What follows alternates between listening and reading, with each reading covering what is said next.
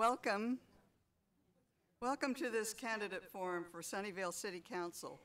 I'm Roberta Holloman, a member of the League of Women Voters, and I'll be moderating tonight's forum. The League of Women Voters hosts forums like this to allow voters to see the candidates and hear them address questions of interest to the public. Our goal is to enable voters to learn about the candidates so they will make informed so choices. The League of Women Voters never endorses or opposes a candidate or a political party. Three seats of the Sun, uh, Sunnyvale City Council are up for election this November. There are two candidates for each seat, and all six candidates are here tonight. They will be seated on the dais and question one seat at a time. As you see, we have seat one up right now. Um, and that will make it easier for you to see who's running against whom. Voters may vote for one candidate for each seat. The candidate that gets the most votes for his seat in November will be elected to the council. The candidates have agreed to a format and ground rules for tonight's forum. The candidates will have 60 seconds to respond to the questions. A timer seated in the front of the room will give candidates visual signals to help them pace their responses. We have allowed time uh, for rebuttals. Each candidate is allowed two 30-second rebuttals. Uh, the candidates have been given two rebuttal cards to indicate to me that they wish to make a rebuttal to something the other candidate has said. And um, um, this, and I need to tell the candidates that this is for rebuttal only and not a new statement or a continu continuation of a former statement. The questions for tonight's forum were developed by a team of league members based upon their own research and questions submitted by the public via email. We thank the public so much for the qu wonderful questions you have sent in. Since we received ample questions from the public in advance, we are not collecting more questions from the audience tonight. The forum is being recorded and can be seen by going to the League's website, lwvcs.org. The ground rules ask candidates not to use forum recordings for campaign purposes. We also encourage the audience not to record the forum because we want it to be shown in its entirety. Finally, we ask the audience to refrain from displays of support or opposition. Please hold your applause until the end of the forum. We'll now turn our attention to the candidates. Thank you for running for this office. So often you hear us uh, ask the candidates for an opening statement or a closing statement, but this uh, time we're incorporating those ideas into the questions we ask them. So here is the, the opening uh, first question, and I will start with Mr. Alexander. What do you bring to the City Council that Sunnyvale needs but doesn't have? Thank you for everyone being here tonight. I think that it speaks volumes that so many people actually came out. Um, that is giving me hope that you guys want something different.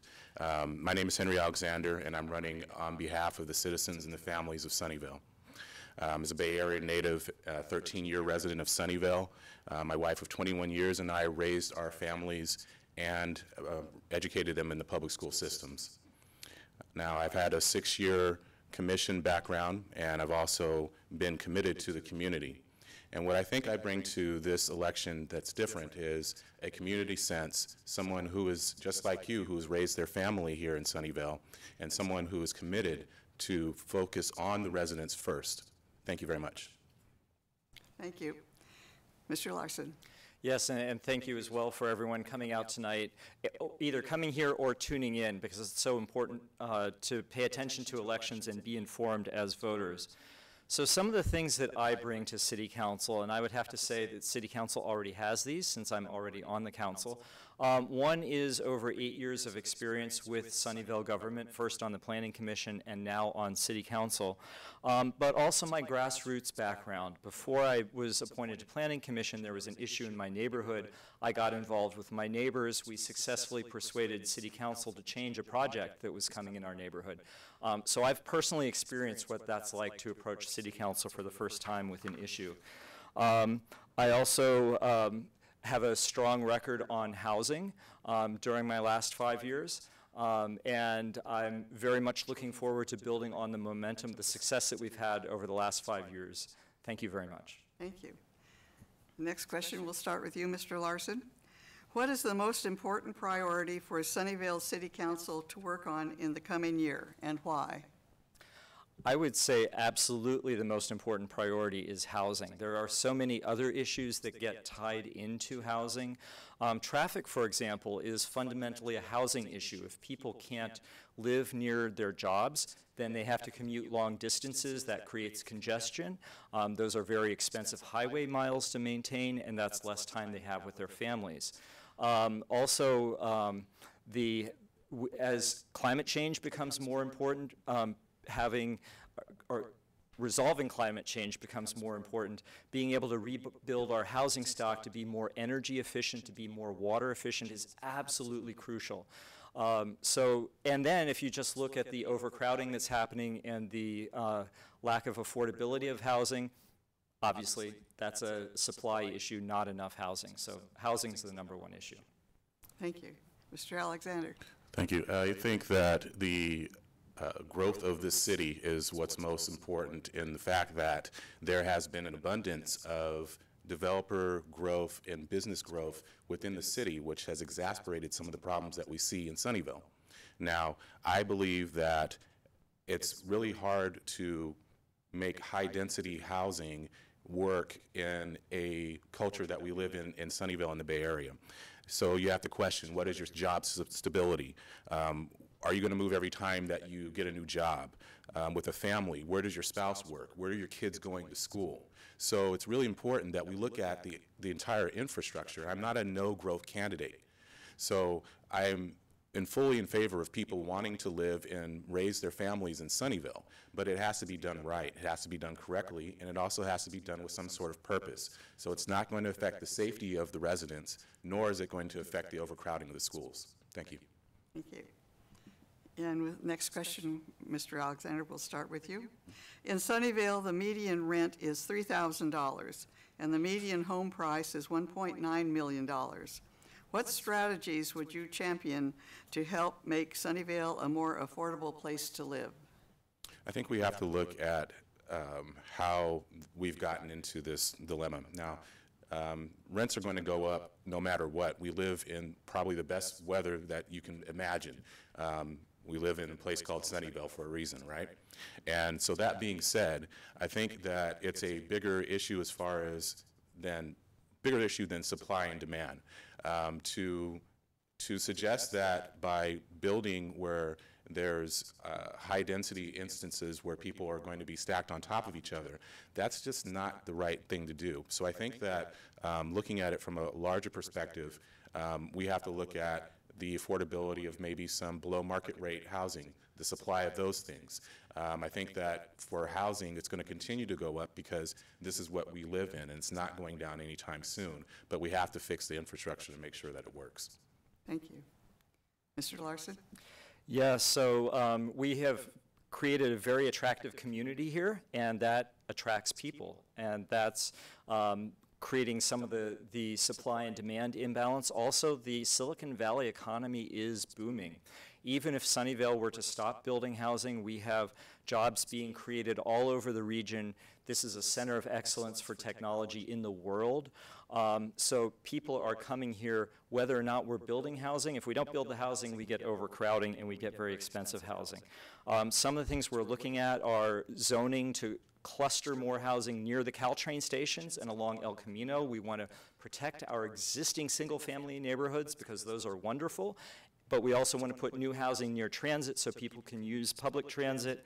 Um, the village center concept where we create, put apartments above um, sh neighborhood shopping centers so you can live and, and shop in the same area or downsize within your neighborhood and also affordable housing is very important as well. Thank you. Thank you. And so we'll start with you this time.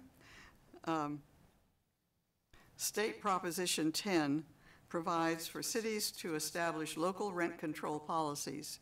Do you support or oppose Prop 10, and why or why not? So I oppose Prop 10. I think that even if Prop 10 were to pass, Um, I think the state legislature would come back with some additional um, changes for uh, kind of the, the bounds on rent control. And I think it's very unknown what that would be. So um, I, I prefer to stick with the known that we have. Um, and I'm also very concerned about uh, discouraging the development of new housing. If, um, if we were to, um, in some scenarios with Prop 10 passing, I think it's very likely that we would see many fewer um, housing projects move forward. And I think that would just make this an even more exclusive area, and I think it would be hard to maintain the diversity of income levels and backgrounds that we have in this community that really make us a complete community. Thank you. Thank you. Mr. Alexander? Yeah, I, I would support this repeal, repeal um, only if there was an improved version of the state law. Um, So I, I think we align in that. Um, But the law, I think, should be amended to prevent the establishment of rent, contr- rent control units for a year that's more current than 1995, in my opinion. Um, So the, the study issue that has come about based on um, the Mountain View ordinance model, um, I think it's a good start. Um, But I think we need to also explore um, what's the manageable amount. Where are the elderly and disabled having a reasonable opportunity to continue living in the city where they've established their lives in? Um, When that's taken away, um, you have the potential for gentrification, and, and that's not what anyone wants to see. So when I'm elected, I will make a, a priority to seek any com- additional community input and provide solutions um, that will help manage this very real issue. Thank you. And we'll start with you again, Mr. Alexander. What budget challenges do you see the council needing to address in the next three years? I think for um, the budget, I think what we need to start looking at is um, some of the um, wages within the city. I think that's a budget issue that is a uh, hot item. And it's not to say that anyone should be having their, but their pensions taken away. Um, But I believe that we should start looking at the privatization of this and from the standpoint that um, people who are coming new into the city as employees, um, perhaps that is something that they would do rather than the people who have pensions that were promised these pensions um, should still receive them. I'm all for that. But I also believe that um, by doing so, looking at these types of things, that we can look at uh, other issues that could affect the city for the long term, more than five years from now. Um, But I think it's something we definitely need to look at. Mr. Larsson? Thank you. Yeah, so the city has been paying very close attention to budgets, uh, budgets, uh, pensions, um, and budgets. Uh, we've hired our own actuary to give us better projections than CalPERS, more realistic projections. Um, we have put in place um, a number of changes, such as multiple tiers of pensions, so that the newer employees coming in already have a, a different pension um, than the existing employees. They will take probably, we're projecting 15 years for that to, um, to really get us over the hump. Our pension costs will be going up for about 15 years, and then they'll come down on the other side. That would be a great time to be on city council, but for now, we have to kind of tighten our belts and stay the course. Um, It's challenging because, because costs go up faster than revenues. Um, For example, our sales tax revenues are flat to slightly down, even though property tax is going up. Um, and so we really have to be very fiscally prudent. I really want to keep with our 20-year uh, financial budgeting model uh, to keep us on track. Thank you. Thank you. Mr. Larsson, proposals have been made to change Sunnyvale's um, election system to district elections in which residents in geographical areas would choose their representatives. Do you support or oppose this proposal? So the, the driving factor behind this proposal is the California Voting Rights Act, and the goal is to uh, get councils that more represent the demographics of our community. And I'll admit, that's a problem right now. Um, We have, our current council is all white and only one woman out of seven. Um, However, because Sunnyvale is so blended demographically, I don't, th- I don't see how you would draw districts that would enhance the demographic representation of city council. We already have good representation from all parts of the city.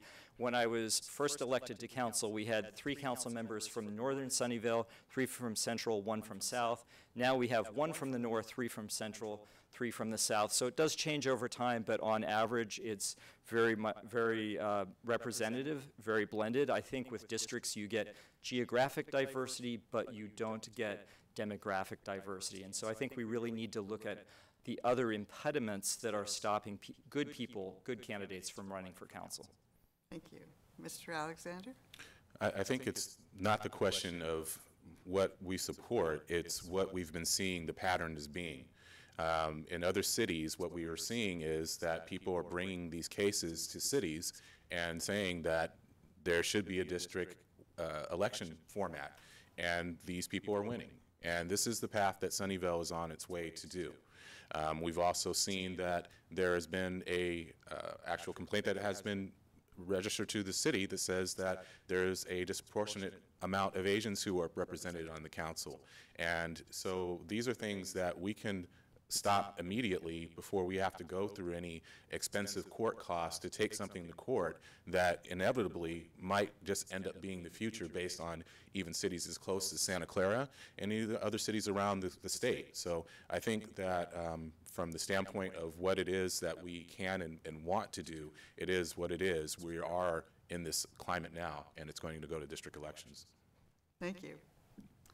Mr. Alexander, Sunnyvale currently has a housing mitigation fee that charges commercial development and impact fee that goes into an affordable housing program. MTC, the Metropolitan Transit Commission, is exploring a regionally assessed commercial development fee for affordable housing. Do you agree or disagree with this kind of regional fee? I think that looking at it from a standpoint of what we need to focus on, Bay Area is an interconnected web of cities. So um, we have to work with neighboring cities to do something. Um, now, relying on development and developers to finance that might be a, uh, a, a cause for uh, celebration in certain points, but when those developments start to decrease, then where are we getting funding from? So this is something that we need to look at from a larger perspective than to just rely on um, the funding of taxes from develop, development. Um, we need to perhaps look at the bigger picture and look at other explorations of, of budgets so that we can look at our spend at a very closer and, and, and more prudent way. Thank you. Mr. Larsson? Yeah, I would prefer to keep the funds uh, established at the local level um, because every city is different. Sunnyvale is very different than San Jose. We're different uh, needs and, and different economic environment. Um, so I think each city should set what is appropriate for the city. Sunnyvale has been a real leader on housing.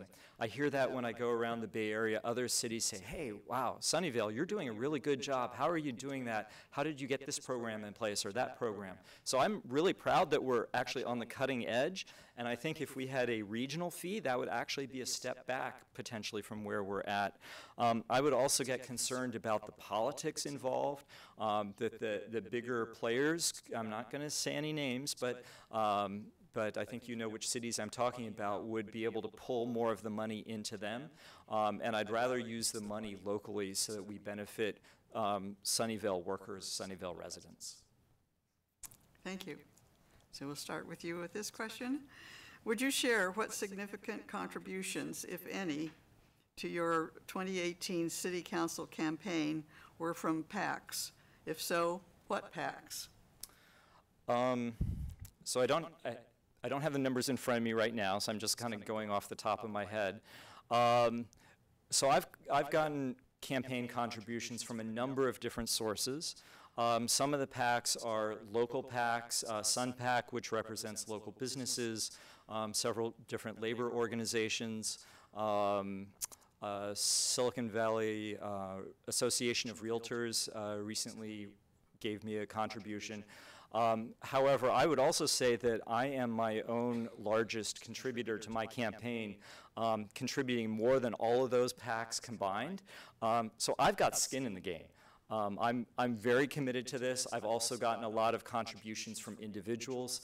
Um, probably 83% of my contributions I calculated earlier today were actually from individuals, from over 80 different individuals. So a lot of um, donations that are 3% or less of what I'm collecting. Thank you. Mr. Alexander? None. Um, and I will continue on that a little bit. I, I think that it's very a, t- a very touchy subject for a lot of people. Um, again, I've said this before. Um, please don't think that when people are donating from a PAC that this is money that's going into the the person's pocket. Um, this is about how um, how you're getting favor from these people who are providing you the funds to actually win and run a campaign. So mine have been all from residents, so I'm beholden to you. Um, I can't say that, um, for me, that it makes more sense to do it that way than, than any other way. However, um, I think that from the standpoint of how you're voting for certain uh, projects that come up, especially when they're um, financed by the same people who have um, financed your election, that's when you're above, rep- you're not above reproach, and I think that should be called the question. Thank you. Um, I think you know which one I'm going to call on next. So, Mr. Alexander, Um, we turn to traffic for a minute. Besides the 101, 237 Mathilda Interchange Project currently underway, what other road improvements or transportation projects do you envision to bring traffic relief to North Sunnyvale in light of anticipated additional development? Yeah, that's going to be a fun one. And I think that uh, when I'm on council, that's going to be one of the, the major priorities. I think that um, we start to, we're going to have to start looking at um, what it takes for the city to look at something um, little bit out of the box, like perhaps um, free shuttles where people want, are taken where they want and need to go, um, and make them electric or hybrid so that they reduce greenhouse gas. Um, and we can pilot these routes to see what works and doesn't work. Um, but we do have to do, take some sort of, sort of proactive measure in order to ensure that we have better traffic flow. But what I disagree with is creating more density of development and, and uh, high-density residents, uh, especially in those areas, and expect for people to live, work, and shop in one compact area. That's just not how we function in this city. Um, so I think that we need to explore and be proactive and think out of the box rather than what we've been doing for several years. Thank you. So on Lawrence Expressway, we've already uh, started working with the city of Santa Clara and the county as well um, to do grade separation where we would lower Lawrence Expressway so it goes underneath the roads that are crossing so you don't have signal lights there. That would make a huge difference for um, traffic on Lawrence Expressway. Also, we're talking with VTA about setting up a shuttle in the Peery Park and downtown areas, connecting those areas, an on-demand shuttle that's already in progress we're talking about. Um, and we have a huge opportunity as we take another look at the Moffett Park area north of 237 for community benefits. Um, Google has purchased a lot of property there. They have been very proactive about finding other ways to get their employees around, and I think it's a tremendous opportunity to get community benefits from them and others in there um, in that area as they want to um, modernize their offices to also get a be- uh, benefit for North Sunnyvale. And finally, we're updating our bicycle master plan. We can fill in the gaps in our bicycle network. Thanks. Thank you. Sunnyvale has led the effort to create Silicon Valley Clean Energy, which now provides 100% greenhouse gas-free electricity to our community and other cities nearby. What additional changes are needed to significantly reduce our community's carbon pollution and make the city more resilient to climate change? Yeah, so I think s- starting Silicon Valley Clean Energy, that was a huge home run. I was very excited to be part of launching that. I'm actually the alter, Sunnyvale's alternate on that, the board for Silicon Valley Clean Energy right now. Now that we have that clean electricity, we can start putting it to use.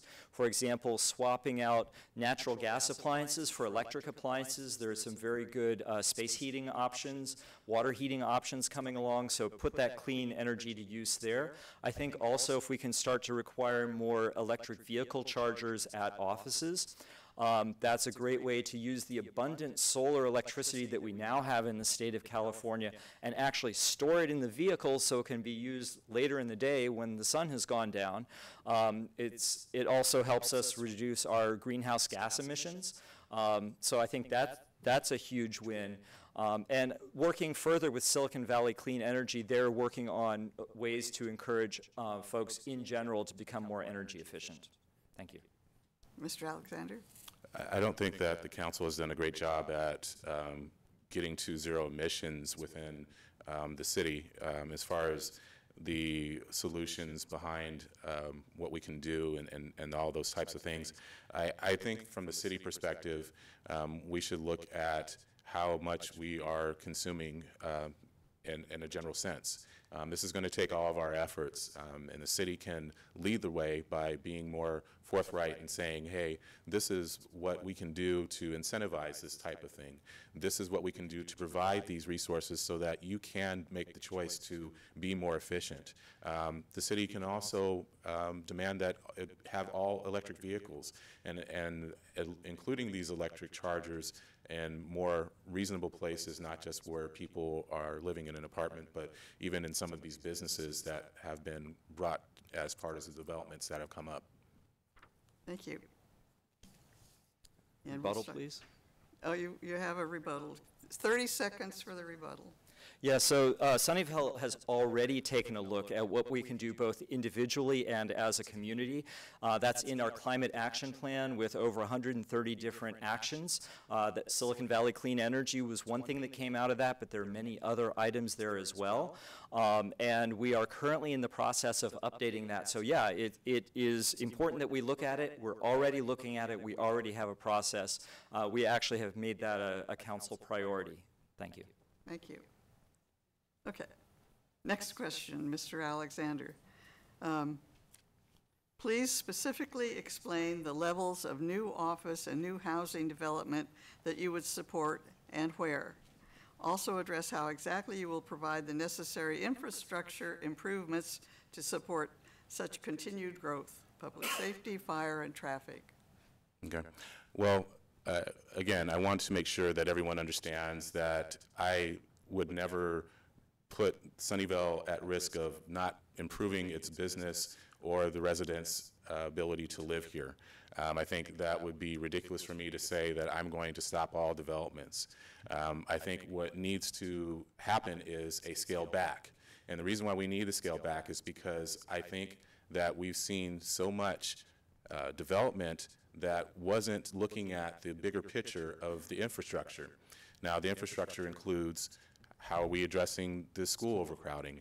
How are we looking at a safety and traffic? Um, these are things that are, matter to the families in Sunnyvale. Um, I've seen it so many times where uh, emergency vehicles are not able to get through. Um, the Sunnyvale Public Safety Officers Association wrote a letter to council to say that could you please scale back the development um, with, with businesses. So I think that's what we need to start looking at. And then as a council, we'll agree where we would build these developments and what makes sense. Thank you.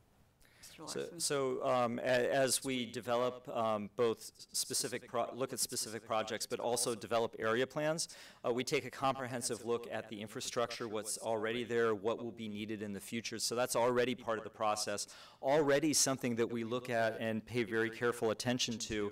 Um, And things like water efficiency, new developments are actually often more water efficient than old developments. So our citywide water use has stayed flat even as uh, population has gone up, and this has been true for the last 20 or 30 years. Um, Public safety is well. Um, we keep track of our response times. Those have been steady. Very proud of that. Also, um, I've been talking with the public safety officers. I'm endorsed by the Public Safety Officers Association because they know that I will make the decisions that will continue to keep Sunnyvale a very safe city. Thank you. And you're asking for a rebuttal, go ahead, 30 seconds. I, I think it's hard for anyone to think that the traffic has gotten less uh, issue over the last five years. I think it's hard for anyone to debate that the schools have become more crowded. I think it's hard for anyone to debate that the public safety officers are taxed because they're having to work overtime. Now, all these things are a factor, and I believe that um, that's something that needs to be addressed when you put your vote into the ballot in November. Thank you.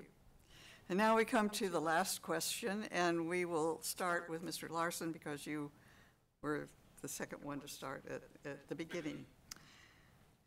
So, please state and answer a question you wish you had been asked.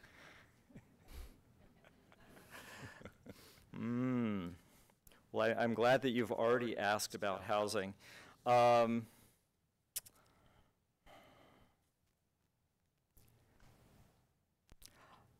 I, I think I, I, want to ha- I would ask a question about who supports you in the community.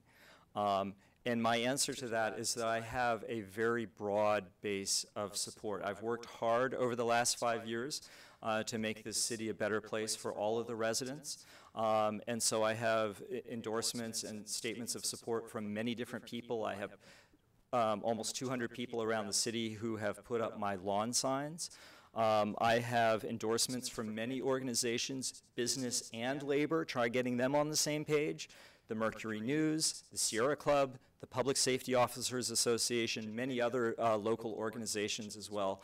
Um, so I have a very broad base of support, and I look forward to continuing to serve you, and I humbly ask for your vote on November 6th. Thank you. Thank you. Mr. Alexander, what question do you wish you had been asked? I think I would have liked to have been asked if the way that campaigns are financed, if we could see a reform in that area.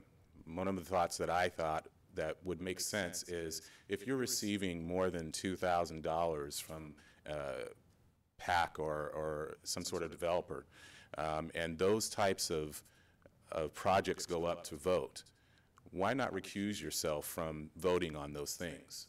I think that's something that really means a lot to people, that they want people who are in leadership, that they can believe in, that there's no, uh, there's no en- embodiment of any type of feeling that there's anyone owed anything. Now, what I owe to you as residents, since I've been completely 100 individually financed, is my best for you in Sunnyvale. So if you're ready, I ask that you vote for me and hit for, vote for me, um, and I ask you that we can work together for a change. Thank you. Thank you very much. Let's give them a hand.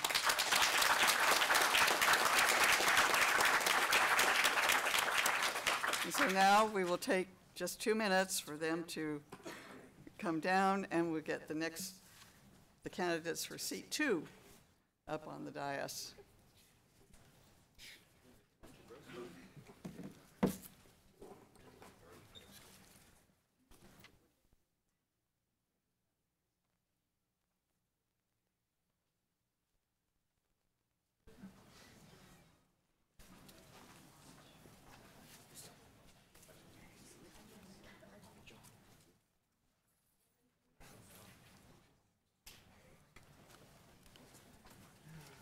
There you go.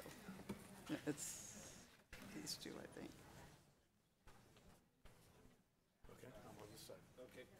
Uh, no, put him over there.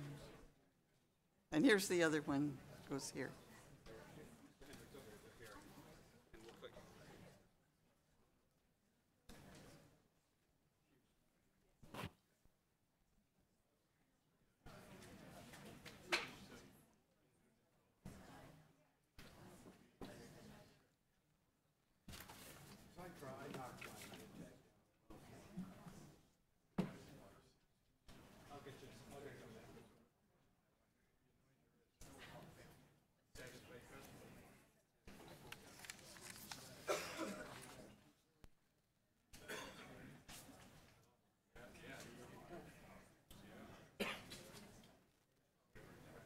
I ask the people in the aisle to sit down so we could, other, everyone can see? Thank you.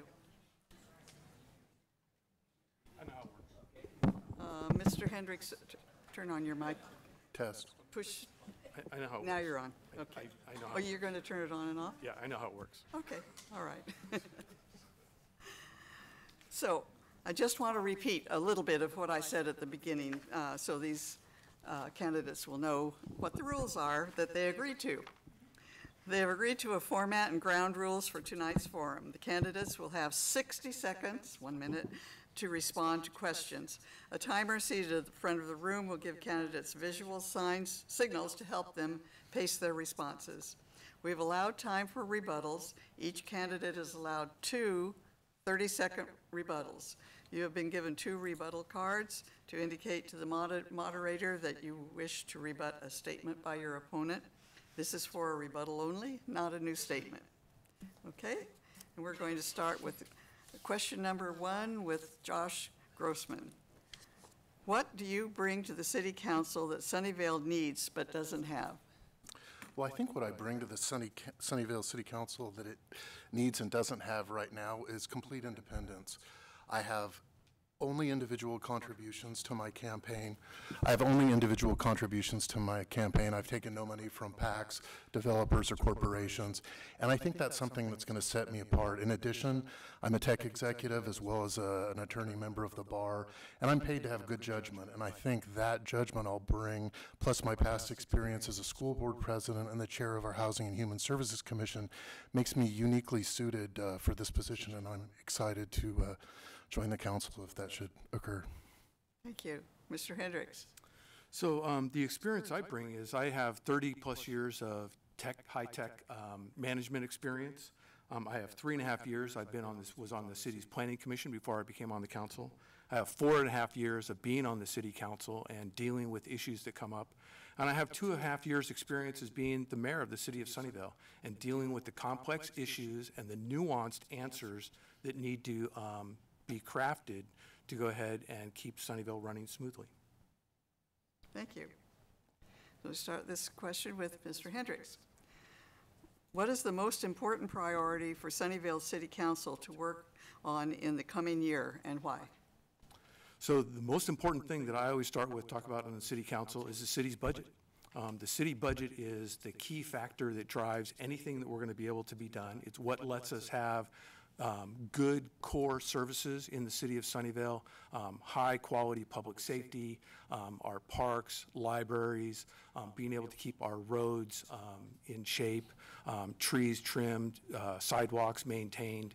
Um, Once we do those things, and, and we're only able to do that when we have a solid budget, then we can go ahead and we can look at other things like we've been able to go off and do with the Silicon Valley Clean Energy um, and other type social issues and be able to look at things we can do um, to try and address um, lower income housing and things like that. But it all starts with having good, solid finances in the city of Sunnyvale. And the city of Sunnyvale has a good um, balanced budget, but it's fragile due to um, things that are going on in the economy. Thank you. Mr. Grossman? Well, I would narrow that down and say it's less than a year. It's, work, the clock is running, so we've got less than 40 days. We've received a letter from a powerhouse law firm asking us to move to district elections, and it appears that we're not doing anything in terms of trying to negotiate with them, and I think there's kind of a fundamental misunderstanding about what we need to do. We need to work, whether you like district elections or not, we need to have a strategy that's going to limit our liability to $30,000, not end up with a $4.5 million judgment like the city of Palmdale. And we need to do that very quickly because the clock is ticking. So that's what I would address immediately because it's the most pressing issue currently. Thank you. So I have this little card. Oh, oh, thank you. So I, I would just go ahead and respond that the city of Sunnyvale um, is negotiating with the lawyer firm um, that has sent us a letter, letter about the CVRA. It is not something that is going to be done in public um, with what's going on. I can assure the public that the city of Sunnyvale is actively working on this and working to go ahead and get to an appropriate solution that will be done according to the charter of the city of Sunnyvale and not just a random decision by the city council. And a rebuttal over there. I would 30 just say, I would like the, uh, the mayor to then commit to limit our liability to $30,000 and act to move within the 40-day, 45-day grace period. If we don't do that, that ship has sailed, and we're going to be stuck with a very costly, expensive lawsuit, which we will lose. No jurisdiction has triumphed in one of these lawsuits. Thank you. Now, moving on, and I'm, I think it's Mr. Grossman's going to be first this time. Um, In Sunnyvale, the median rent is $3,000, and the median home price is 1.9 million. What strategies would you champion to help make Sunnyvale a more affordable place to live? Well, first of all, we've got to sort of start with the low-hanging fruit, if you will. I don't love that phrase, but I'm going to use it. We've got to protect our stock of affordable housing that exists now, and that means our mobile home parks. So we need to very quickly take the 400 acres of mobile home park that exists and have a ballot initiative for the folks to vote on that preserves that in perpetuity, as well as getting mobile home park rent stabilization on the ballot. That's critical. We need to let the people decide. That's something we need to do immediately to preserve that area. Another thing we need to do is increase our 12.5% affordable housing fee. That's an in lieu of fee, and we have numerous examples of places like Butcher's Corner where you have a development with zero units of affordable housing, and instead of affordable housing, you have that money going to a, a- a pool of money that sometimes we're not able to spend. Uh, so I, th- those are two things I think are quite important. Mr. Hendricks? So what the city is doing is we're going ahead and we are zoning more areas of the city for housing. What we need to do is allow for more zoning of housing so that we can have more housing stock be built in the city of Sunnyvale. Um, Mr. Grossman mentions the 400 acres of mobile home parks. Those are already um, preserved, that they are going to be staying as 400 acres. Um, The city is required to have 400 acres um, preserved. Um, We need to build more housing near transit um, so that people have an opportunity to be able to use transit as opposed to single occupancy cars. And we're also going to be changing, right now, we require um, 12.5% of housing in developments to go uh, to affordable housing. And I believe that the city of Sunnyvale is going to change and move to the 15% for that um, very shortly. Thank you. I'm finding my, my place here. Okay. Uh, Mr., we're going to start with Mr. Hendricks. State Proposition 10 provides for cities to establish local rent control policies. Do you support or pr- oppose Prop 10 and why or why not? So I think the real issue with Prop 10 is um, what Sacramento is going to do. Um, Sacramento is not going to take this- their hands off the steering wheel of what's going on with that. So if Prop 10 passes, Sacramento is going to pass some other rules and regulations that are put in place. Um, If Prop 10 passes and um, Sacramento doesn't do something like that, then I think we need to go out and we need to go talk to the residents in the city of Sunnyvale and find out what the residents want. Um, This is one of the things, the council gets to go ahead and make um, decisions and has some final votes on things. But the decisions of what we do should not be just based on what seven people think. You need to be able to go out and talk to the residents in the city of Sunnyvale, get input on about what they want, and not just what seven people who sit up here um, want to go ahead and do. Mr. Grossman? So, uh, you know, I think first and foremost, I believe in local control. That's why I support this initiative. I think it's important to let cities decide, as the mayor's mentioned, anything that was done with rent control is going to be a ballot initiative. But I'd also say it's important to be consistent about local control. So, for example, the city council voted against a League of Cities motion to fight SB 35, which would have, the Vallco project is, is a function of SB 35. We should have voted to, in support of preventing things like that. So I believe in local control all the way, and this is something that should go to a vote of the people. Thank you. So, starting with um, Mr. Grossman this time, what budget challenges do you see the uh, council needing to address over the next three years? Well, I'm not sure if it'll be over the next three years, but eventually we're going to have to deal with pension reform.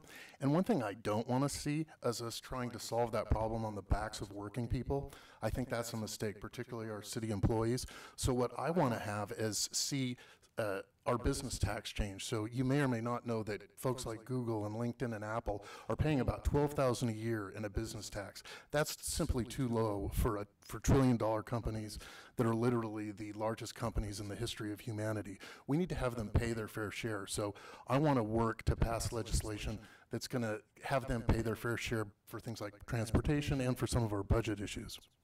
Thank you. Mr. Hendricks? So because of the 20-year budget model that the city of Sunnyvale does, we have a very good understanding of what our budget, um, our expenses and revenues look like out over the next 20 years. Um, The number one thing that's going to affect our budget is pension costs. Pension costs are increasing by what's happening within CalPERS. We understand and know that our pension costs peak in the year 2030, 2032. Um, And we have good plans in place to go ahead and get us to that, so we can go ahead and make and keep the commitments that have been made to um, our employees here in the city of Sunnyvale. I want to thank prior councils and especially um, the bargaining units where we've already gone ahead and created multi-tier programs. So new hires that come into the city come into a different tier, so we're not having to, to do that battle right now, and I really want to thank the people that did that work before. Um, The other piece that we just have to go ahead and understand is we're a service organization, um, we- and it's the people and this, the employees in the city of Sunnyvale that provide those services, and they are going to have a growing um, salaries uh, for what goes forward. So those are the two pieces in our budget. Thank you. Did I call on you? I'm, I think it's me, but I'm not keeping absolute track, so I'm going to leave it to you. No, you went first that time, so I'm next. You're, you're, you're next for the next question. Or you haven't answered this question? No, I have, we talked about it. yeah, he, he, he- he did it, and then I did it. Then you did it. Okay. Thank you very much for the help. So now it's your turn, Mr. Hendricks, to answer this question.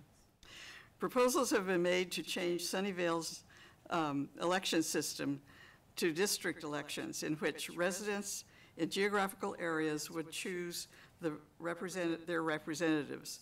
Do you support or oppose this proposal?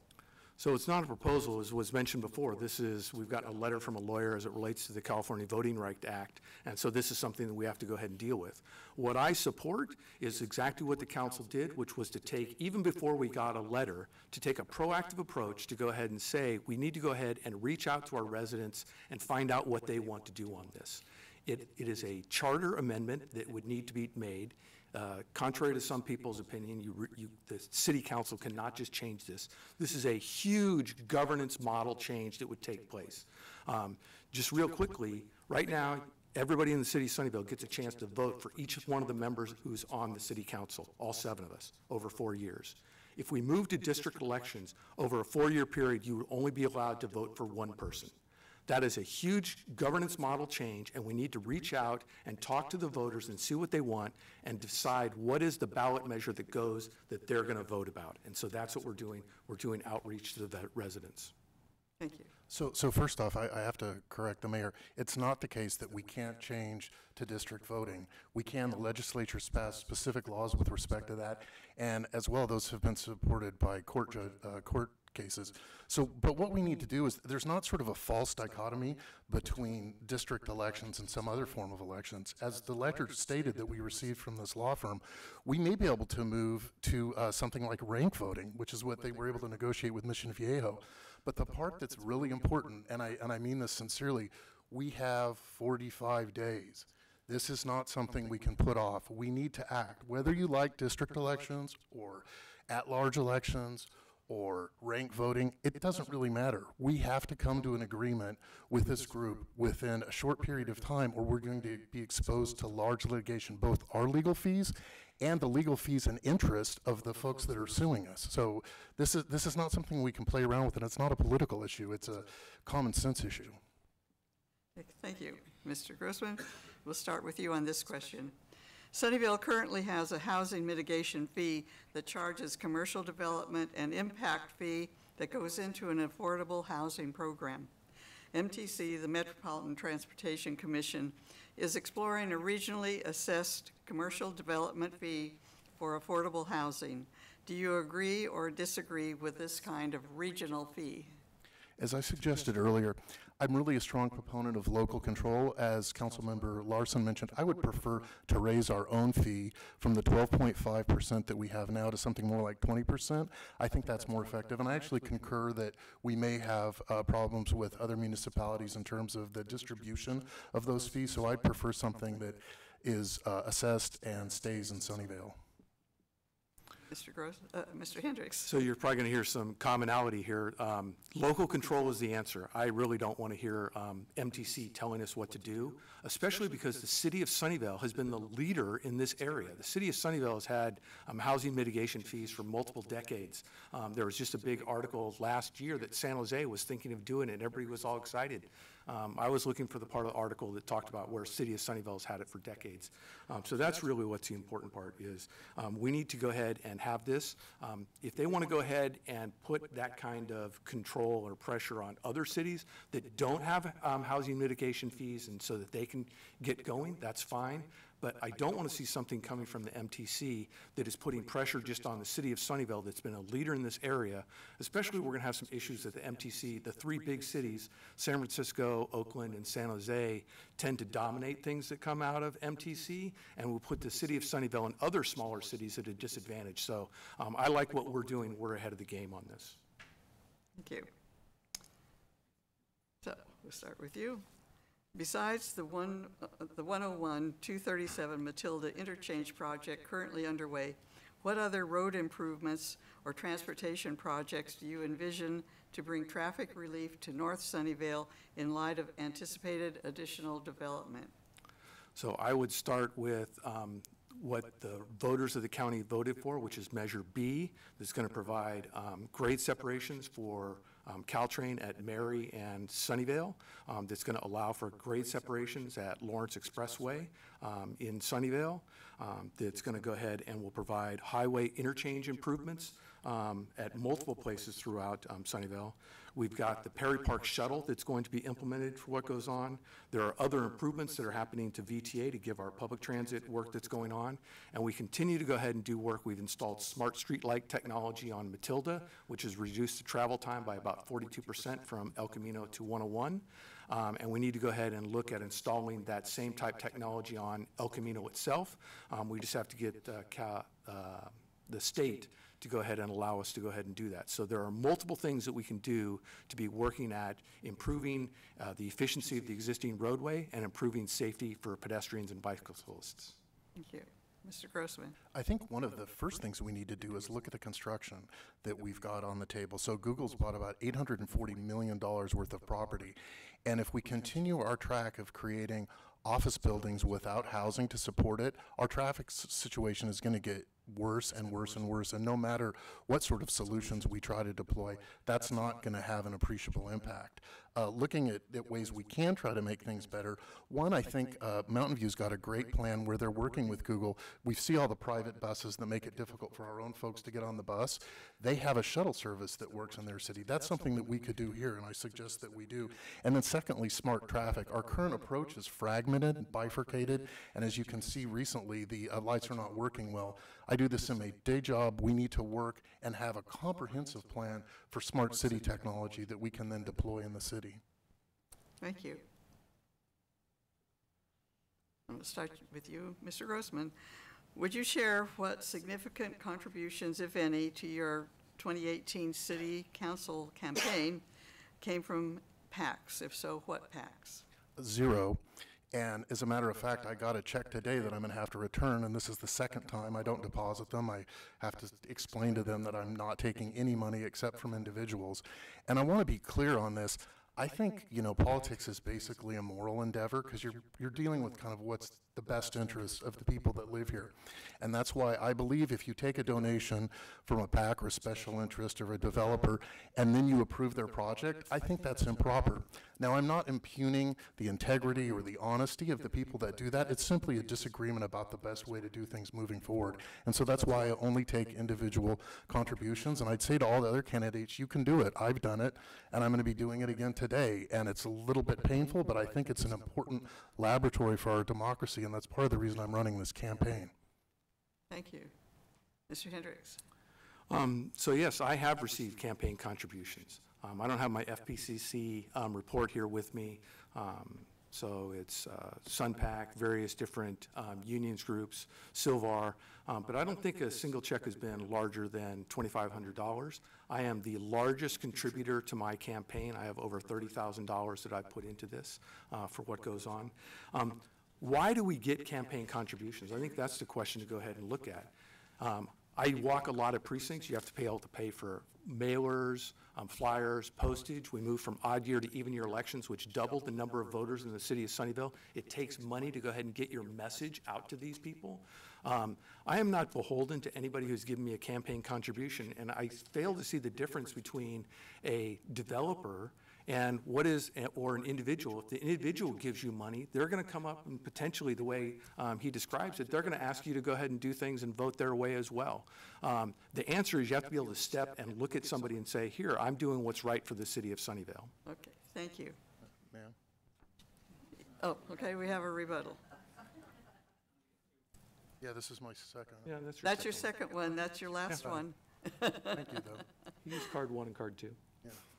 Uh, So I just say, I think there is a qualitative difference between, for example, a mobile home park resident that gives me forty dollars or fifty dollars and then is concerned about mobile home park rent stabilization and an independent expenditure, which I know is not a direct contribution of seventy thousand dollars from the National Association of Realtors. Those are two qualitatively very different things. And most importantly, this corrodes our democracy because people lose their faith in the system. And that's why s- it's so important we move forward with campaign finance reform. And another rebuttal, and this is your last one. So I think it's important to understand that independent of what money you get, when you sit in this office as a, as a council member or as the mayor, you have to be open and you have to listen to everybody that comes and wants to talk to you. You don't look and say, here, who contributed, who did not contribute.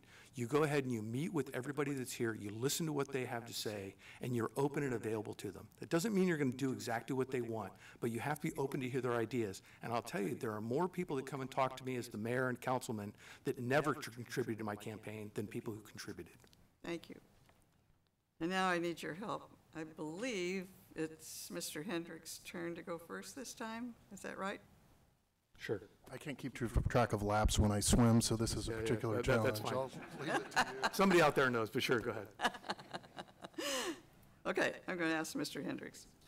Sunnyvale, and this time I'm going to keep initials on these. Sunnyvale led the effort to create Silicon Valley Clean Energy, which now provides 100% greenhouse gas-free electricity to our community and other cities nearby. What additional changes are needed to significantly reduce our community's carbon pollution and make the city more resilient to climate change? So Silicon Valley Clean Energy is awesome. Um, It is a fantastic thing we were able to go ahead and get implemented. What else we need to do? Um, We had our CAP, uh, Climate Action Plan. We're working on CAP 2.0 to go ahead and collect more ideas from our residents. Um, I think one of the biggest things we have to focus on is electrifying the fleet. Um, We have to get our transportation vehicles converted to um, using electricity um, for what goes on. Um, But I will say this, all the rest of the changes that are going to go on as it relates to being able to reduce greenhouse gases um, are going to be big behavioral changes. They're going to require um, changes by our residents.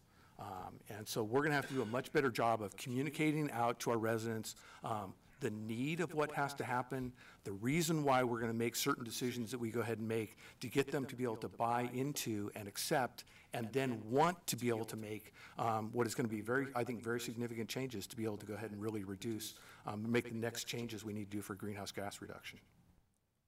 Mr. Grossman? To quote another, I think basically we need to electrify everything and we need to clean up the grid. Uh, We need to have no more natural gas in new construction.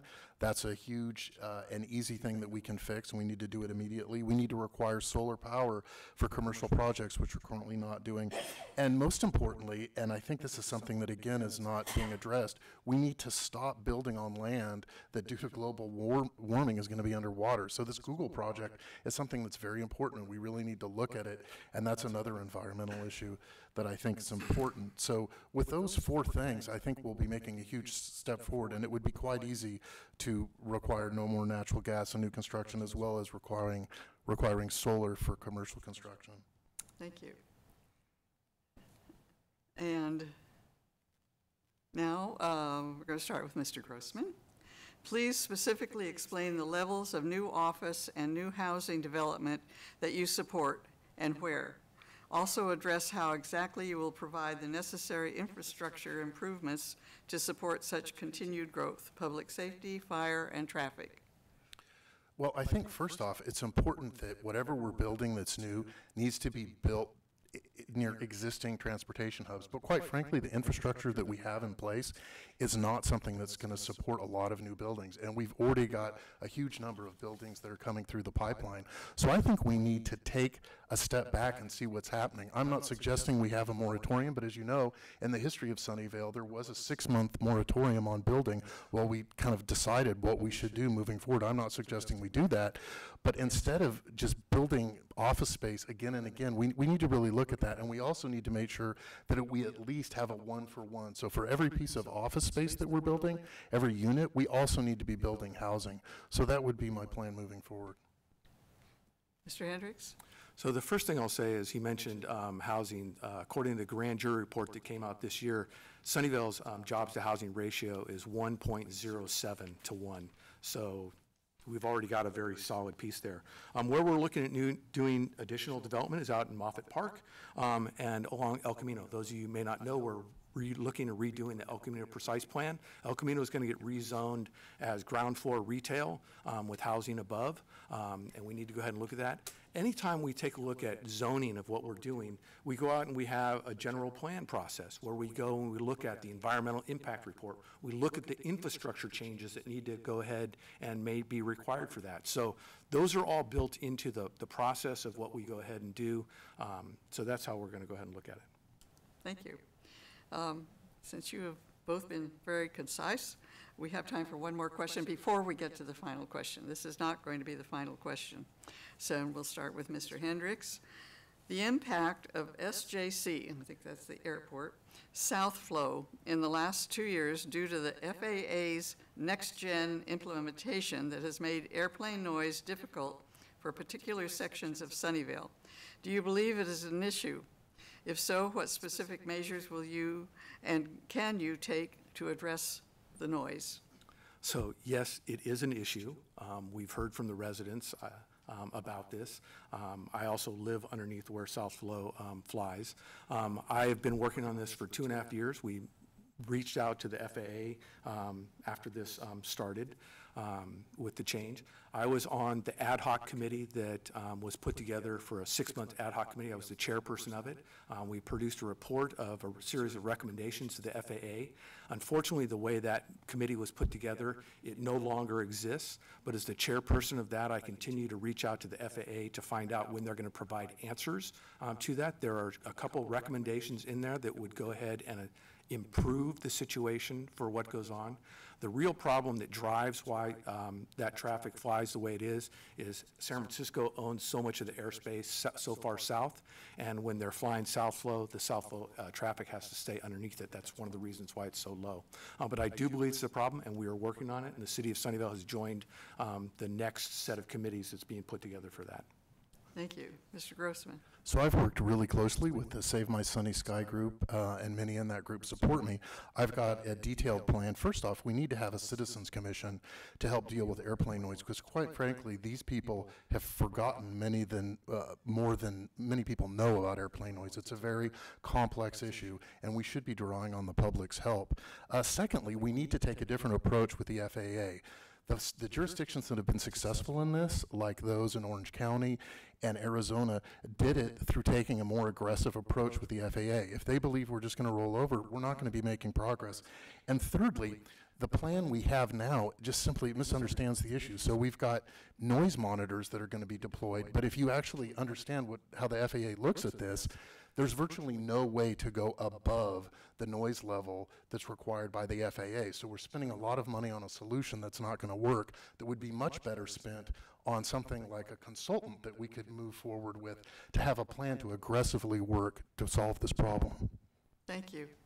And now we do come to the final question, and we will start with Mr. Hendricks because you were second when we started with the first question. So, please state and answer a question you wish you had been asked. I think the question that people should ask would be, what is our motivation and why do we want to be on the city council? Um, I want to be on the city council because I was born and raised in the city. Um, When I came, after I was in the military, I moved back here. I moved here with my wife. I moved here because I wanted to raise my family here. Um, That was my sole motivation. I had lots of other places that I could have moved to, but I wanted to be here in Sunnyvale. Um, And now that I've been back here, I wanted to go ahead and participate um, in my city government and go ahead and do things to be able to try and make the city of Sunnyvale a better place than when I first got involved in city government.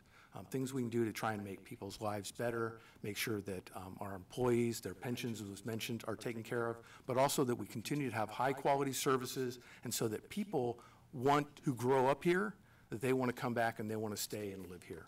So that's what I think people should think about. Thank you.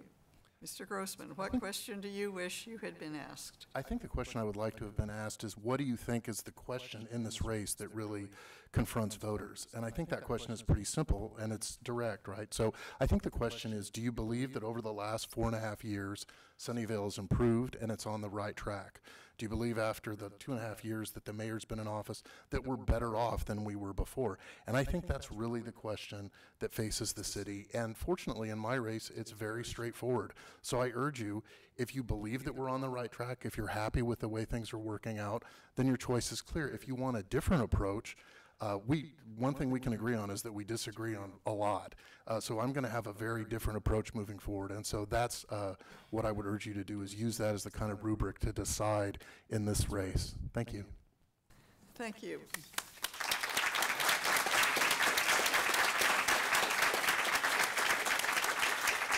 Now, we'll do the same thing that we did last time.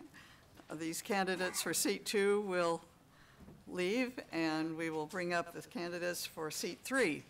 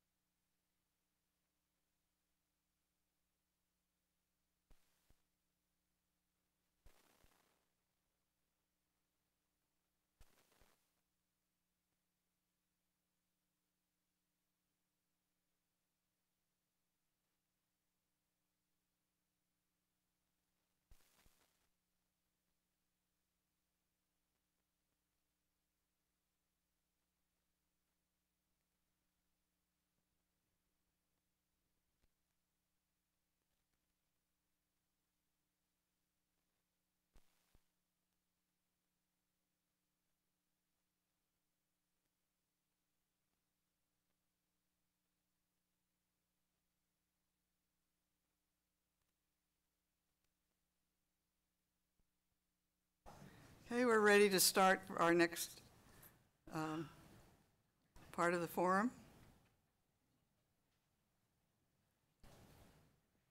And I will read to you the same thing I have read to the other candidates so you understand the, the rules. The candidates have agreed to a format and ground rules for tonight's forum. The candidates will have 60 seconds to respond to questions. A timer seated in the front of the room will give candidates visual signals to help them pace their responses. So make sure you can see the, the uh, timers cards. We have allowed time for rebuttals. Each candidate is allowed two 30-second rebuttals. You have been given two rebuttal cards to indicate that, to the moderator that you wish to rebut a statement by your opponent. This is for rebuttal only, not a new statement. Okay? So, we are going to start with uh, Mr. Cordes, and the first question is, what do you bring to city council that Sunnyvale needs but doesn't have? Thank you very, much. Yes, you're on. thank you. Um, So what I bring to the council that I think is of the most value to the residents of Sunnyvale is decades of experience. I have 30 years of management experience before I retired, and now I have the time and dedication to be a great council member for you. I have a master's degree in engineering management, and I've worked on large, complex organizations like a city, uh, doing product development across the world. I've been very engaged in Sunnyvale since uh, retiring from work. I'm a member of Livable Sunnyvale. I'm starting my fifth year on the Bicycle and Pedestrian Commission, and I'm uh, starting my second year as chair. Um, Currently also serving on Sunnyvale's Climate Committee, because I care dramatically about the future of our planet. And I want to make sure the kids grow up safe, so I'm on our Sunnyvale Safe Routes to School Coalition. I'm one of the two volunteer co-leaders for that organization. I can go on and on. I'm also a member of Livable Sunnyvale, which is an advocacy group here, and you can find out a lot more about what I do on my website. Thank you. Thank you. Mr. Fong?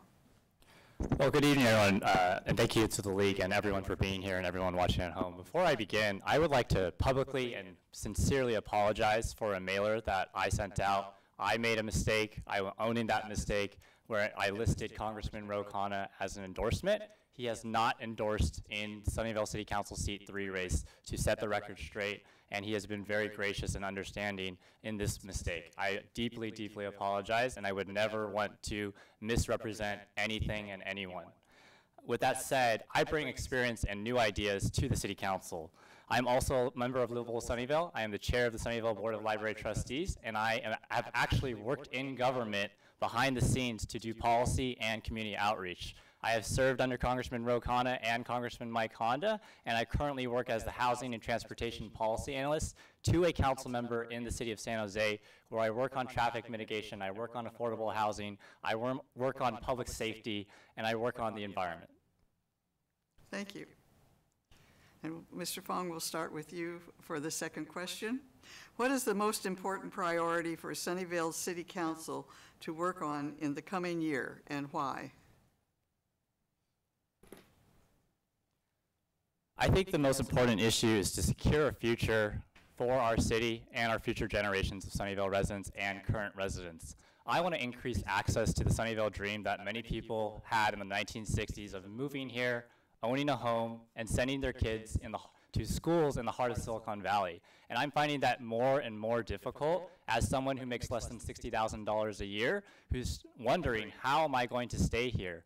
How am I going to be able to experience the great city that we have and make sure that others are going to do that? And how that I will do that is making sure that your taxpayer dollars are spent wisely and that we invest correctly in our future. That means building a branch library in the Sunnyvale, North Sunnyvale in the Lakewood Branch Library. That means completing our sewage water treatment plan. That means making sure that we stay the safest city in America three years in a row, and also making sure that we generate revenue to provide the best city services in the entire valley. Thank you. Mr. Cordes? I want to focus on quality of life issues for Sunnyvale residents, and the number one category that people bring up in that is uh, traffic congestion. So I've worked on traffic as the chair of the Bicycle and Pedestrian Commission for quite a while now. I've also served on the Sierra Club's Sustainable Land Use Committee, where we also tackle this, and I'm also a member of the Sierra Club's uh, Transportation Committee for the whole Bay Area. So I'm deeply involved and have studied this for quite a while, and I think it's the most important thing that uh, pain point for residents today. Um, there are a lot of other issues in the longer term that I think we need to do address uh, regarding the budget and creating a sustainable future for all of us. But the number one issue we should tackle is, is traffic and congestion. One of the things I want Sunnyvale to do is form a transportation commission. Cities around us that have their own shuttle systems have transportation commissions or assign it to some part of the government. So I definitely want to do that. Uh, Sunnyvale needs to start the Sunnyvale shuttle system. We have a million dollar grant from the Metropolitan Transportation Commission to fund a shuttle. Thank you. And Mr. Curtis, we'll start with you with this question. I do let you finish your sentence or your thought, so you don't have to cut off immediately. In Sunnyvale, the median rent is $3,000 and the median home price is 1.9 million. What strategies would you champion to help make Sunnyvale a more affordable place to live? So this issue is near and dear to my heart. I've had friends like Rich Colbert who've been forced to leave Sunnyvale, and he was a very active member in our community because he could no longer afford to stay here on his fixed income. I'm seeing the same kind of problems concerned with a lot of the people that live in the mobile home parks. So one of the first things we need to do is get rent stabilization passed in Sunnyvale for the residents in the mobile home parks. Um, Sunnyvale is one of only two cities in the Bay Area that does not protect our mobile home park residents that way. Sixty percent of them are on fixed or limited income, so we've got to do that. The next thing we need to do is to zone more land for more housing. So Sunnyvale's doing a pretty good job of focusing more housing in our tr- uh, transit corridors and redeveloping some of our old, old business parks, because more housing will help keep, uh, keep the costs down. We also need to increase the, um, find more funding to build more affordable housing. So I think there's a variety of strategies, including the head, uh, employee business license tax, employer business license tax, that would be great sources for more funds to help people like Charity Housing build more housing. Thank you. Mr. Fong? Yes, so this issue is very near and dear to my heart. Um, I'm a big fan of senior housing and workforce housing, and we need a plan to get that done. I'm also a big fan of mobile home preservation. We're keeping our zoning as it currently is. We need to increase the stock, but we also need to increase the stock across city lines because Sunnyvale is the leader in producing housing, but other cities are not as prevalent. And so we need to figure out, as a region, how are we going to tackle this issue? Uh, we also need to generate more revenue, as my opponent mentioned. I am also in favor of increasing the business license tax in order to pay for general fund items. But we can generate all the revenue we need, but we need to invest it wisely. And so we will be working with organizations like Housing Trust Silicon Valley, Midpen Housing, all our nonprofit providers that actually can go take the city's money and multiply it and then find the right financing to build the housing. Workforce housing is is very important to the city because our employees are not able to live here. And if we can't retain them, your city services will go down. Thank you. Mr. Fong, State Proposition 10 provides for cities to establish local rent control policies.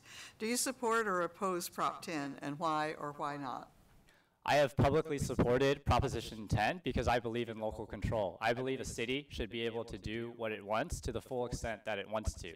If, uh, if Proposition 10 is if supported and Costa-Hawkins is repealed, I believe that there will be a very robust conversation at the state legislature to see how can we look at vacancy decontrol, the different components to rent control, and make sure that it works for each community. But I think that it's really important to have a city and its residents be able to determine the way legislation works because ultimately a city like Sunnyvale might have different priorities than a city in Central Valley. Thank you. Mr. Cordes? I've been a strong advocate since it was first, I heard about it, that I want to support the repeal of Prop 10. I want a yes vote on Prop 10. I think local control is the best solution. Uh, I agree that the state did a big overreach when it forced the same standards across all cities in the entire state. Every community should have the right to figure out for themselves what they think their best way to control uh, their growth and their resident, who can stay in, who can afford to stay in their cities. So very much in support of local control, and um, then we can have a robust decision. Uh, Sunnyvale actually has a big housing study going on right now that I've been participating in, and the city council intentionally decided not to include uh, apartment rent stabilization in that.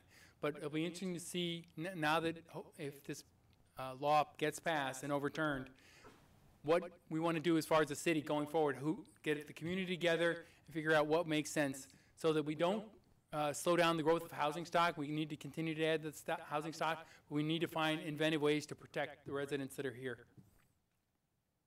Okay, Mr. Cordes, what budget challenges do you see the uh, council needing to address over the next three years? So I've been studying Sunnyvale's budget for three years now, and it's a thousand pages, just to give you a clue. And it's a very um, complicated document with a lot of priorities in it, and it's it's so very important.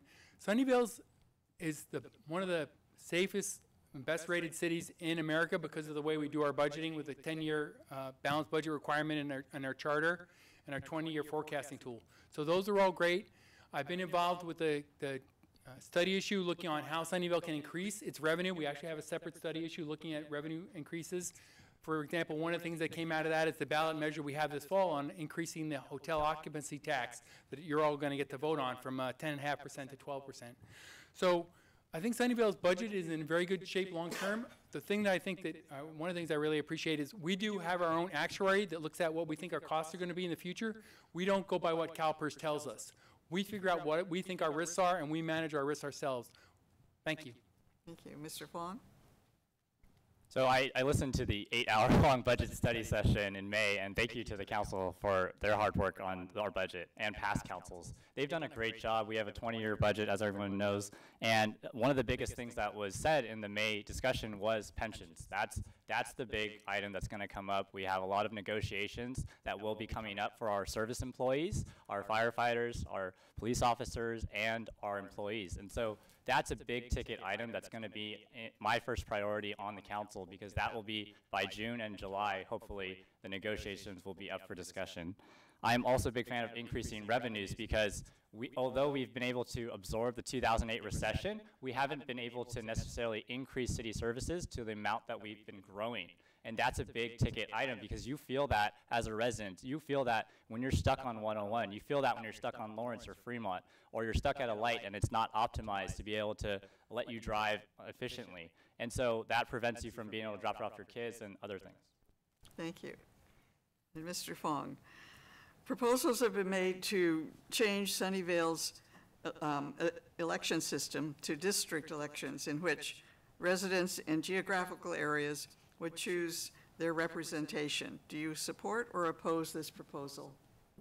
So I support this proposal because ultimately a lawsuit would put the taxpayer liable uh, in the city. So I want to thank this current council for taking a proactive outreach. They haven't wait, waited to be sued. They've proactively said, we need to study this because this is coming. And that's the foresight that is Sunnyvale's strength. And so I work for a council member now where we are in a district and there's a lot of benefits and a lot of cons. And so I'm very well versed on district elections. I'm very well versed on how a district would operate if implemented. And I'm looking forward to being on the council to be able to explore that more. Thank you. Mr. Cordes? I'm in favor of district elections for a couple of different reasons. One of them is I do think it will give um, uh, better opportunity for diverse candidates to run and be successful in Sunnyvale. Sunnyvale did a study issue in 20, 2008 and found that 10 out of 11 times the person that raised the most money won. This is not the way we should be electing our officials. We need to be having, and one of the big advantages of smaller districts is it's easier for candidates to get to know their constituents and be able to run. So for people that want to be represented by their neighbors and actually have somebody that's concerned about what's going on in their neighborhood, I think the change to uh, district elections is going to be a huge benefit for all of us. Um, we have way too much outside money flowing into elections in Sunnyvale. It's been a problem for, for a long, long time. It's easy for uh, the developers to figure out who they need to fund to make sure they own four of the seven seats on the council. And we have to put an end to this, and I think district elections is going to be one of the great ways we do that, including and increase the opportunity for uh, local residents and local areas to be better represented. Thank you. Mr. Cordes? Sunnyvale currently has a housing mitigation fee that charges commercial development an impact fee that goes into affordable housing programs. MTC is exploring, the Metropolitan Transportation Commission, is exploring a regionally assessed commercial development fee for affordable housing. Do you agree or disagree with this kind of regional fee? I disagree with the regional fee, just as I've said on Prop 10, I think local decision-making and control is the best way for Sunnyvale to move forward. Sunnyvale has done better than almost any other community in building housing. Uh, That, unfortunately, I wish I could say that was great for affordable housing, but we're still like at seven percent for the next planning cycle on the number of affordable housing units we- we're building. The only reason that um, is a good number is it's better than anybody around us. So um, we definitely need to increase the fees we charge for housing so that we're doing a better job of creating more affordable housing. And I, I think increasing the fees we charge to the developers is one of my strategies for creating more afford- affordable housing in Sunnyvale.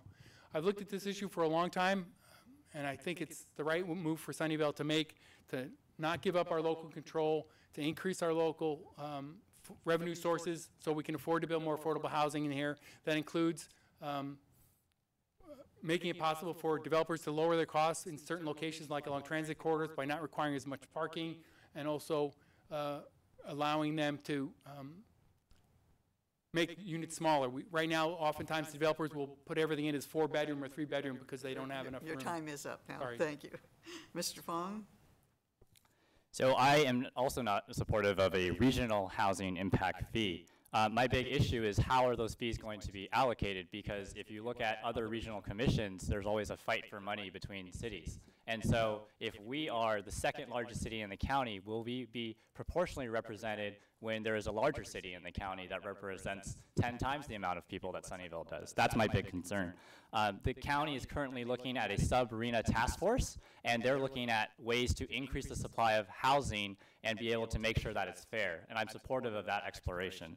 Um, I'm a big fan of urban villages, and that's what I really think the residents are going to feel the most, is if we can hone in on those community shopping centers and make sure that people can live, shop, and work in one central location, we will reduce traffic, provide affordable housing, and make sure that we retain the character of our neighborhoods. Thank you. And we will start with you, uh, Mr. Fong, on this one. Go, turn to traffic now. Besides the 101, 237 Mathilda interchange project currently underway, what other road improvements or transportation projects do you envision to bring traffic relief to North Sunnyvale in light of anticipated additional development?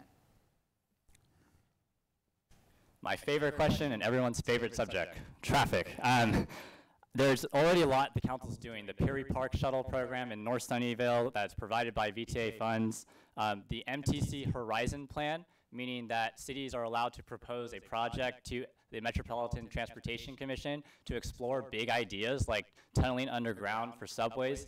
I'm honored to have worked on this issue for many years on Caltrain electrification, BART to Silicon Valley, and much more on light rail. And so I'm looking forward to be able to make sure that our residencies are able to have Caltrain uh, uh, grade separation at Lawrence Station and downtown, uh, more efficient traffic flow when there's a proposed development in the neighborhoods to avoid neighborhood traffic, and to make sure that light rail works in North Sunnyvale because we have a lot of proposed development, Google, Facebook, other organizations, and we can get community benefits from them and help them pay for the impact that they're making.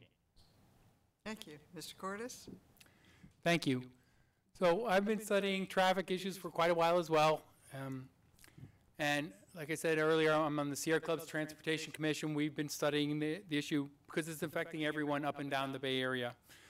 Uh, Particularly in the northern Sunnyvale, since I'm up there and I uh, relate to the people and I've been trying to help the people in the mobile home parks, I've been paying attention to this. Uh, One of the things is that we need to, again, try and solve the jobs housing imbalance better than we've been doing in the past. So we need to be focusing on how we're going to add more housing in Sunnyvale as a way to mitigate traffic impacts, right? We're going to have to make it so people aren't commuting so far to get to their jobs. We also need to uh, form a transportation commission that I mentioned before. We need to dramatically improve the bicycle and pedestrian infrastructure in Sunnyvale.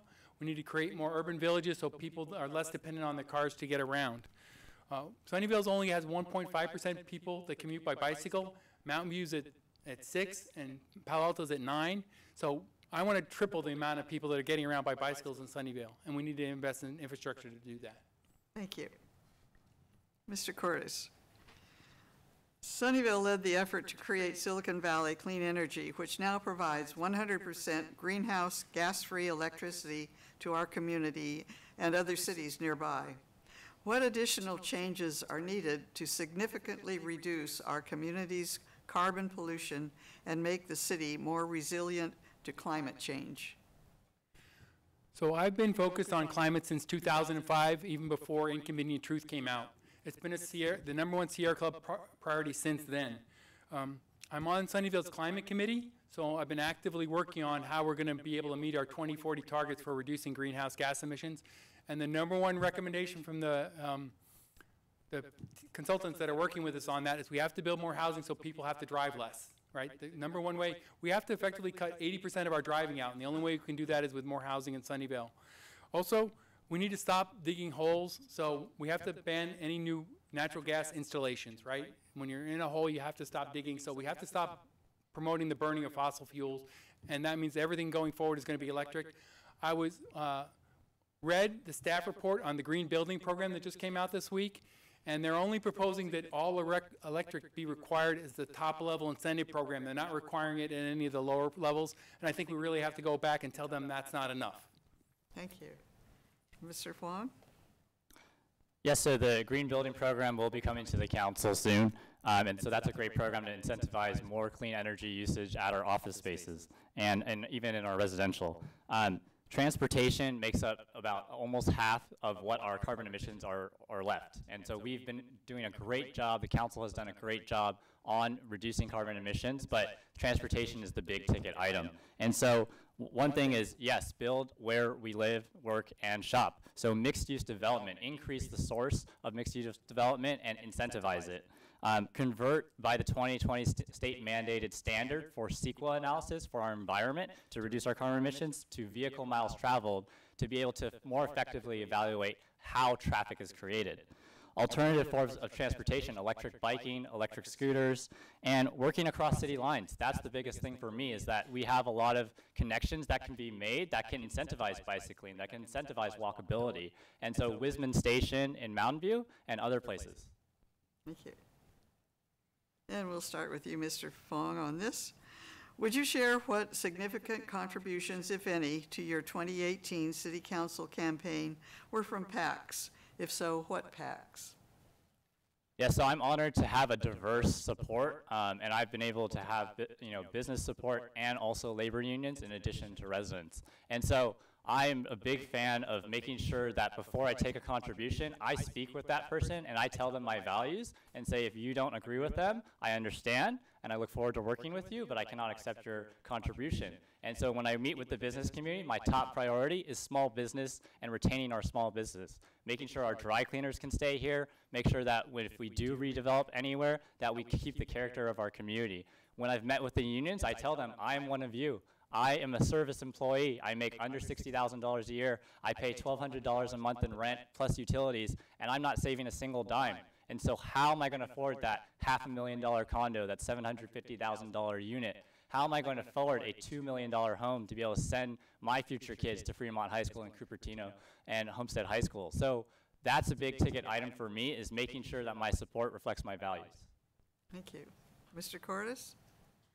Thank you. I am not taking any donations from any political action committees or developers, and, and almost um, 74% of my donations have come from Sunnyvale residents. I'm, you know, I, the highest donation I think I have is, uh, to date is $1,000, right? So I'm dependent on many of you to contribute to my campaign. I have many, many volunteers helping me succeed because I'm not going to be able to outspend Mr. Fong. He's, he's raised triple the amount of money that I have, and only 22% of his funds are coming from within Sunnyvale, right? That, so I don't know why the California Realtors Association PAC is giving him $2,000, and the California um, uh, Bay Area Council independent expenditure of 2,000, of $7,000 for a mailer for him and Mr. Larsson. And the California Apartment Association Committee is giving him a $5,000 independent expenditure. I mean, they're not doing this out of the goodness of their hearts, so um, I have to wonder what's going on. Thank you. And we have a rebuttal here, um, 30 seconds. So any resident can look on the city clerk's website and go to the NetFile system to see the transparency. And I want to be a transparent council member and public official. I have received, as I mentioned, uh, fu- funds from both businesses and labor, but labor is the most important to me because I represent working families. I'm fighting for working families to be able to stay here. Uh, I've received, uh, you know, IEs are actually independent expenditures, and we have no control as candidates the committee is actually the one that decides how to spend their money, and those are filed on NetFile in, under a different section. Thank you. And let's see, we start the next question with, can't read my notes here. Uh, Mr. Cordes, is that correct, or, I believe so. okay, now, let me find the question. So that one was nine, and I'm looking for 10. Please specifically play, uh, pl- let me start over again. Please specifically explain the levels of new office and new housing development that you support and where. Also address how exactly you will provide the necessary infrastructure improvements to support such continued growth, public safety, fire, and traffic? So I've been engaged in Sunnyvale for a long time. It's my home, and I'm deeply committed to it. I've been involved with the general plan update that Sunnyvale did, and I've been involved with the Lawrence Station Area plan that's still in the process of being developed. I've been involved with the Lawrence, uh, the El Camino Real specific plan. So those are the places where Sunnyvale has picked to, to do our future growth. They're going to be around 6,000 homes at Lawrence Station, around 5,500 homes a- along the El Camino Real, four miles of the El Camino Real corridor. There's a thousand homes planned for one AMD Place where DeGuigne and Stewart meet. Um, so you can see I've been deeply involved in, and looking at this for a long time. As far as more infrastructure, I think it's appropriate for the businesses that are driving uh, all our traffic congestions, particularly impacting the police officers, that they have to provide more funds to provide more services that we need in Sunnyvale. Um, We've done the Nexus reports that show the impact of these businesses, and we are not requiring that they pay anywhere near the fees that they, for the uh, services they require. Thank you. Mr. Fong? Yeah, so I believe that the city council is looking at transit-oriented stations like Lawrence Station, downtown, El Camino, and Moffett, and I agree with those. I'm all about budget diversification because if we want to slow office growth, we look at we need to follow the money and look at the numbers. And 40% of prop, of our revenue is property tax, 20% is sales tax. So if we increase mixed-use development through our urban villages and through other items, we can actually make sure people can live, work, and shop in one place, and that our budget isn't reliant on office space. We also need to make sure that our public safety officers can adequately address our emergency response times, and we're missing 12 positions in our city. And when I've met with the public safety officers, that was the, one of the first questions they asked me. How are you going to make sure we can do our job? And they support me because my strategy is to make sure that we have an actual master plan to fill our vacant positions, not only in public safety, but in our parks department, in our public works department, in all of our city, because that makes our job a lot better. Thank you. And Mr. Fong, the impact of San Jose, SJC, San Jose Airport, south flow in the last two years due to the FAA's next-gen implementation has made airplane noise difficult for particular sections of Sunnyvale. Do you believe it is an issue? If so, what specific measures will you and can you take to address the noise? Yes, I believe it's an issue. I've been dealing with this issue in various roles. I first encountered it in Congressman Mike Honda's office, where I was the point staffer for it. And thank you to the Mayor Hendricks for his leadership in establishing an ad hoc committee, which is a bunch of cities put together that are going to have a louder voice to our FAA director. Um, the big issue that I saw was that we need to be able to act regionally in order to be taken seriously on the federal level. And I'm thankful to be able to have that experience working on issues in different levels of government and knowing where the pressure points are and how to strategize to actually solve the issue. I do believe it's issue. I've knocked on many doors. I've felt my window uh, shake during South Flow, and it you know it wakes up uh, young children and makes sure that their parents aren't able to be the 100% at the workplace. And this is these are issues I've encountered when knocking on doors of residents. Thank you. Mr. Cordes? I've been working on this issue for quite a while myself. I even attended some of the ad hoc meetings that were being held in San Jose. I got there on my bicycle from here. Um, So I, I've met with the Save My Sunny Skies people, I've talked with them, I've talked with plenty of residents that are very concerned about the noise, that say they can't sleep when the south flow is in effect. Um, I've talked with Congressman Ro Khanna, I've talked with Anna Eshoo. Um, They are trying to put pressure on the FAA to change the noise standards, which is really the only possible solution we have for this.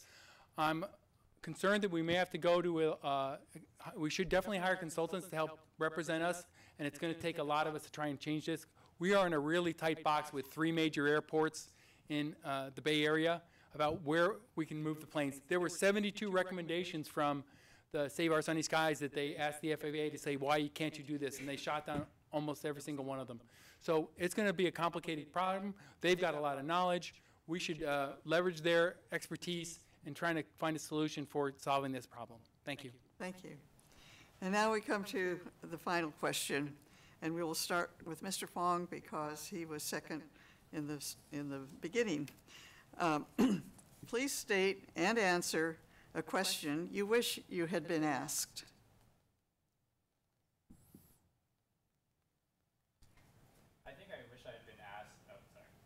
I think I wish I had been asked, what drives you to make a difference in your community, whether it's on city council or in any role? And I've had the honor to work with various elected officials and be mentored by them. And what it really comes down to is public service is not about service to oneself, but service to one's community. And I'm a strong believer in that. And so for me, I come from a public service family. Uh, my mother was a planner, worked for Governor Brown. My father was a uh, staff member to an elected official, and they instilled in me community organizing. That's where the core of my values are, and when I make any vote on the city council or I have any discussion in the community at a planning meeting, I will be making sure that I represent the community and I'm organizing for the community. That I'm trying to make sure that your neighborhood reflects your character and your values when a hotel is proposed behind your house, when a El Camino is having renovations with the county and the state. And so that's really something I hope that everyone can uh, be able to take away from this. Thank you. Mr. Cordes, what question do you wish you had been asked? So, um, I wish I'd had more time to talk about everything I'm trying to do for the residents of Sunnyvale. I didn't get anywhere near enough time in 60 seconds to cover what I'm doing. Um, I serve at the homeless shelter for the residents of Sunnyvale. Um, I also volunteer at my church with the homeless shelter. We have them come stay with us for a month a year. I um, run the family giving tree program at my church for giving gifts in the, at Christmas time and doing the backpack drive in the summer. I'm heavily engaged in trying to do everything I can to make Sunnyvale better. I've served three years as my neighborhood association chair. We're the only neighborhood association chair to do a float in the Sunnyvale parade. We're also the only one. We're also the only one to form a, form a 501c4 to better service the residents. So now we, it's easiest for us to collect money and, and spend it. And we do that a great job of that in Snail. We have the most active neighborhood association around. We have monthly newsletters, monthly speakers. Um, it can go on and on. You'll have to check out my website if you want to see everything. So thank you for this opportunity to talk to you about why I'm passionate about Sunnyvale and why I think I should be your next council member. Thank you. And join me in an applause for these candidates. And thank you, candidates, for participating in this forum and, and considering serving the community. The candidates will remain after the forum to give you a chance to talk with them individually. You may also pick up candidate literature um, at the table at the back of the room. Visit lwvcs.org in the coming days to find video of tonight's forum. Go to the calendar on that website and scroll down to the listing for this event to find the link for the forum video. I also encourage you to check out votersedge.org, formerly Smart Voter, the League of Women Voters election information website. Among other valuable information content includes money behind political campaigns for, at the federal and state levels. I want to thank the audience for coming tonight. I also thank all the people who sent us questions by mail. We greatly appreciate the city of Sunnyvale for the use of the board, for the use of this council chamber, and for the KMVT crew whose work makes this forum available to all city, Sunnyvale voters. We hope tonight's forum has helped you with your voting decisions. Please remember to vote on November 6th. Good night.